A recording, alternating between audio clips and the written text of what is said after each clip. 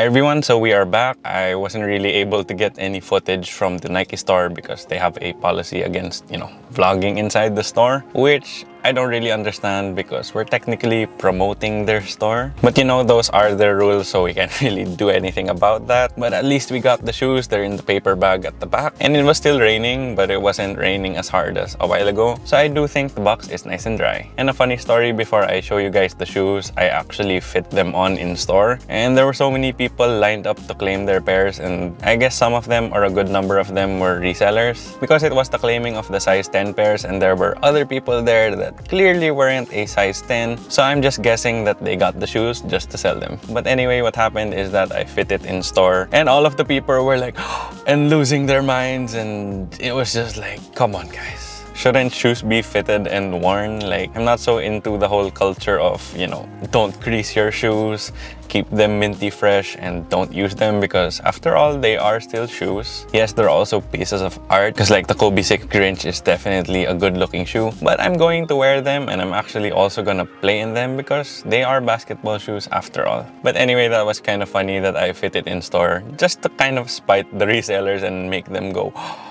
but yeah, we will take a look at the shoes, so hang on a minute. So here you have the Kobe 6 Protro in the Grinch colorway and it comes in your standard Kobe box. This is pretty much the same box we also saw on the Kobe 5s. Then I also already took a peek at these and man do they look really good. I also fit the left pair in store and looked at the mirror and walked around a bit and it also just looks really fresh on foot and is super comfortable as well. And if you are wondering, the Kobe 6 Protro fits true to size. I went with my standard size 10 and upon fitting it in store, it fit pretty one-to-one -one, which is how I like my basketball shoes to fit. And now time to take these out for you guys to see. So opening up the box, plain paper. Woo!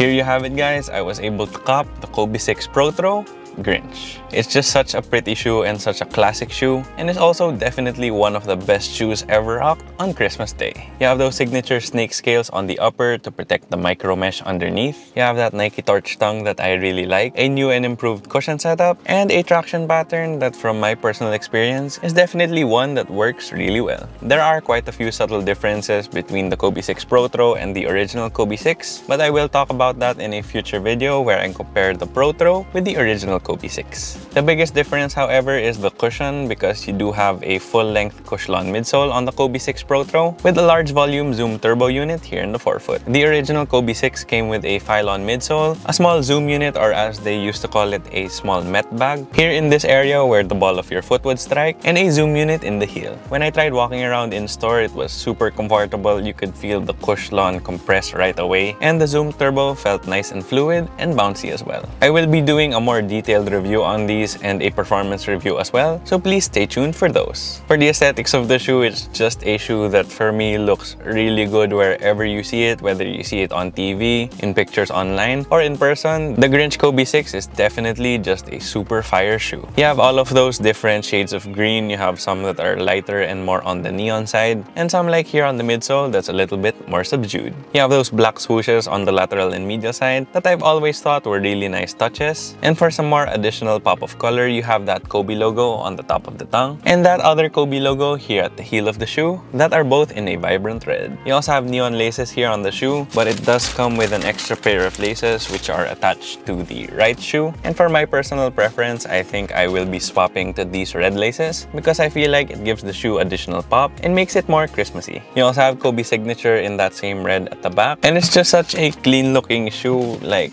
from the moment I laid my eyes on it in store I was just like I'm keeping this for a very long time and I'm playing basketball in these. And it's a shoe that to a certain extent is pretty much a grail for me because the Kobe 6 Grinch as well as some LeBron Christmas colorways were really the shoes that made Christmas kicks a thing. Now every time that there's an NBA Christmas game, all of the players are bringing out all of their best stuff. Like for this past Christmas Day slate of games, you had Curry wearing the Curry 8s which were in red. You had Anthony Davis rocking the Kobe 6 Grinch. And you also had LeBron wearing a Christmas colorway of the LeBron 18. I do feel like the Kobe 6 Grinch had a major hand in, you know, really hyping up Christmas Day games and making both basketball heads as well as sneakerheads excited for the NBA Christmas games. So there you have it guys, that was just my quick vlog on picking up the Kobe 6 Protro in the Grinch colorway. If you liked the video, please make sure to leave a thumbs up down below. Then if you have any comments, questions, or any suggestions for future videos, please feel free to leave them in the comment section down below. I will be making a more detailed review on these as well as a performance review, so definitely please stay tuned for that. Then if you haven't already yet, please make sure to subscribe